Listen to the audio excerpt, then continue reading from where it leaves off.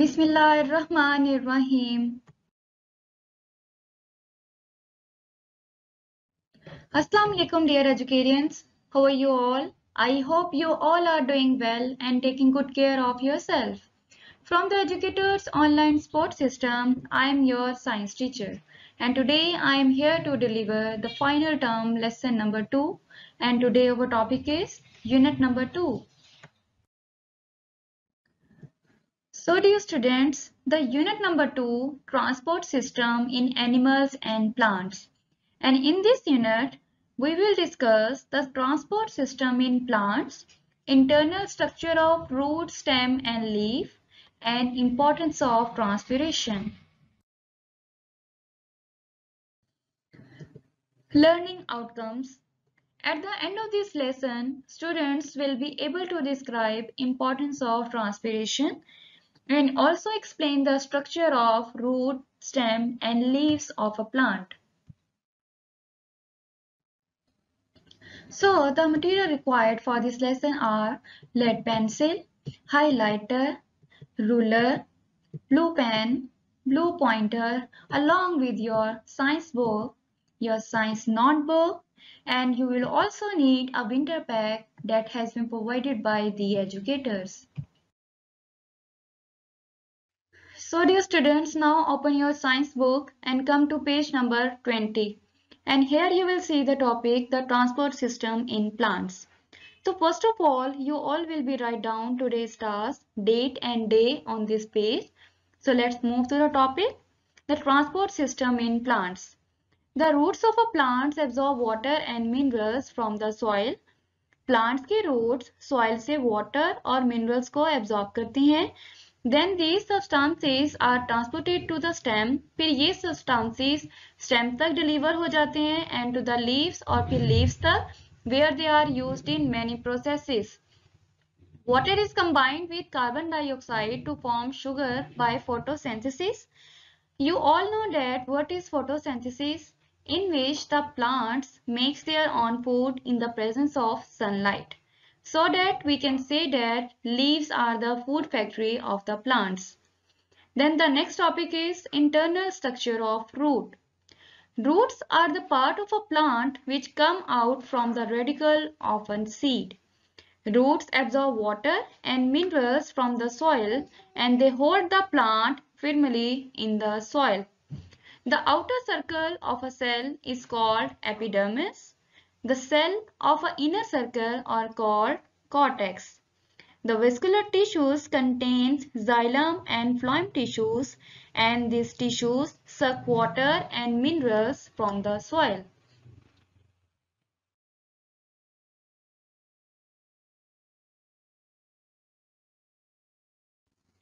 Now students open your page number 21.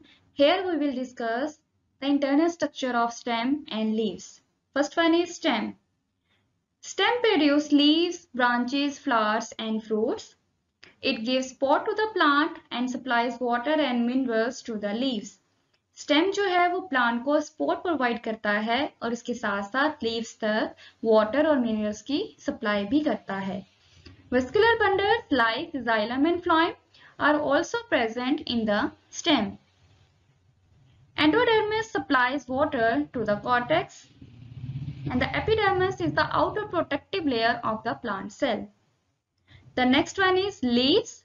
Leaves are thin and flat. हमें पता है कि अगर हम leaves को देखते हैं तो वो जो है वो flat होते हैं और thin होते हैं बहुत पतले होते हैं and they consist of a network of veins और इसके साथ साथ क्या है कि उसके leaves के अंदर हम veins का network भी देख सकते हैं which are visible.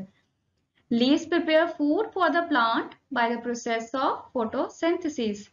We all know that leaves are the food factory. They prepare food in the presence of sunlight and this process is called photosynthesis. Okay students, now open your page number 22 and here the topic is absorption of water. The absorption of soil water is done by the root hairs. In plants, water is mainly transported through the xylem vessels which are continue from the roots to the top of the plant. The next topic is transpiration. what is transpiration? The evaporation of water from the leaves is called transpiration. And what are the importance of transpiration? The transpiration stream is important because it carries water and minerals from the soil to the leaves. It keeps the cell firm so that they can support the plant. The evaporation of water from the leaves keeps them cool in hot weather.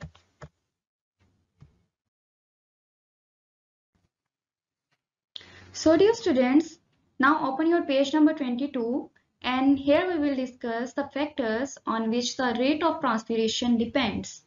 The first one is wind. The rate of transpiration is faster as the water vapor is blown away while passing out of the leaves. The second one is temperature.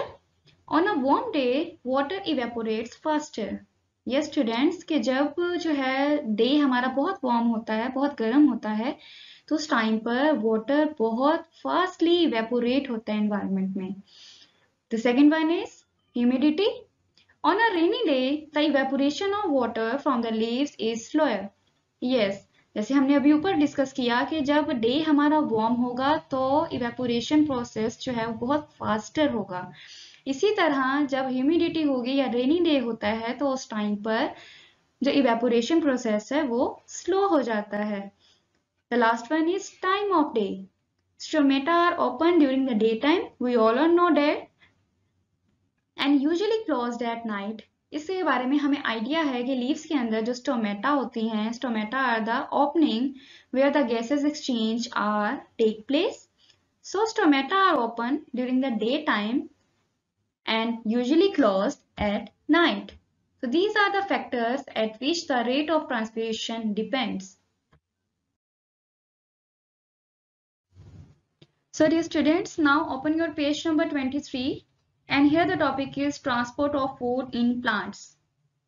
Food substances are manufactured by the leaves and transported from there to other areas by the plant tissues.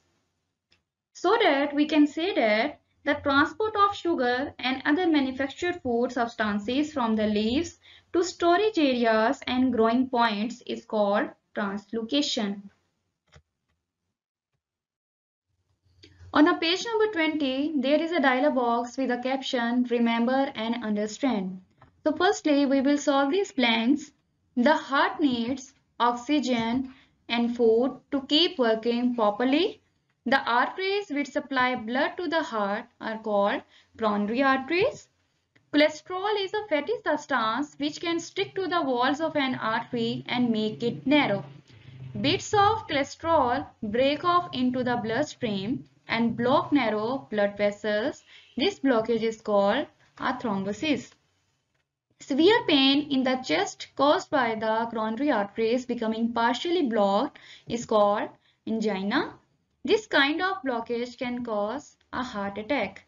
If a coronary artery becomes blocked, a heart surgeon can bypass the blockage using a piece of vein from the patient's leg. This is called a graft Heart walls can be replaced with plastic walls which help to control the heartbeat. Receiving a healthy heart from another person is called a transplant. So dear students, now come to page number 24 and here there is an a dialog box, remember and understand. So firstly, we will solve these blanks. The first one is transport in plants takes place through a system of tubes called vascular bundles. Vascular tissue in plants is made up of xylem, the water-carrying tubes, and phloem, the food-carrying tubes. And the third one is the evaporation of water through the leaves of a plant is called transpiration.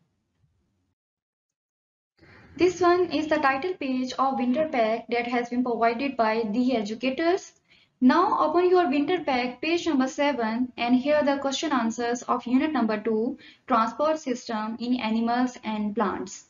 Now we will write these given questions on a notebook. So dear students, now it's time for your notebook work.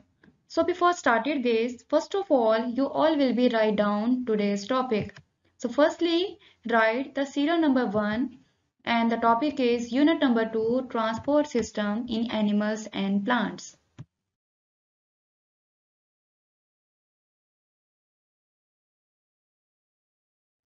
So dear students, now it's time to prepare a title page. So firstly write unit number 2 transport system in animals and plants. Then write the content and the content is reading, internal objective on book, recall questions A till E and question number 3, 4 and 5 and the last the higher order thinking questions from 6 till 10 and also draw the diagram on a blank page like this. Okay students, write today's task at the center, day on the left hand side and date on the right hand side and also draw the margin line. After that, write down the topic and the topic is unit number 2 transport system in animals and plants. And the caption is recall questions and the question number 1 is what is the main job of the circulatory system? Answer is the main job of the circulatory system is to pump out the blood through a special organ called heart through the thousands of tubes called blood vessels and transporting fluid called blood. The next question is what is the heart made of? The answer is heart is made up of special kind of muscle called cardiac muscle. The next question is what stops blood flowing backward to the heart? So the answer is the aortic and pulmonic walls close preventing backward blood flowing to the heart. Then mitral and tricuspid walls then open to allow forward blood flow within the heart to fill the ventricles again. So the next question is what is the heart and how many times does it beat? The answer is one complete contraction and relaxation is called a heartbeat. The heart normally beats about 70 times a minute when you are resting, but it increased to well over 100 times a minute during physical activity or excitement. The next question is what are capillaries? The answer is capillaries are extremely small and narrow blood vessels that connects the arteries and the veins.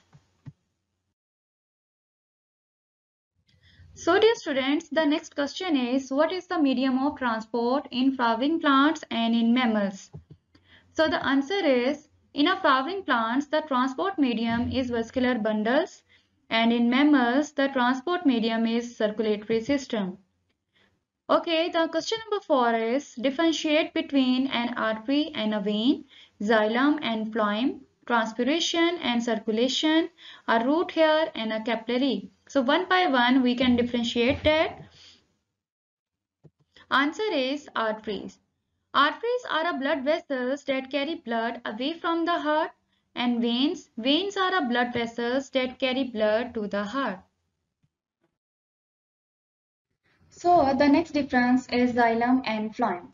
Vessels through which water and minerals move from root stem into the leaves and a phloem vessels which transport sugar to other parts of the plants. The next one is transpiration and circulation. The evaporation of water from the leaves of a plant body is called transpiration and the transport of essential nutrients in human body through a blood is called circulation. The next one is a root hair and a capillary.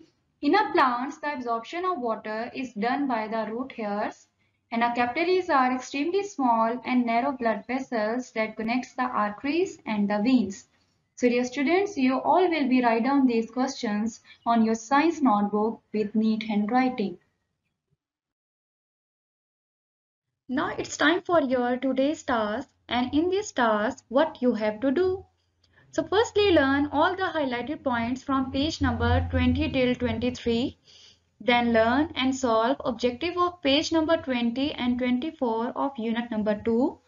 And then learn and write question number 2, recall questions A till E and question number 3 and 4 from exercise on notebook. So dear students, I hope today's lesson was helpful for you and you all have understood all the points carefully. So take care of yourself See you soon inshallah. Till then, Allah Hafiz.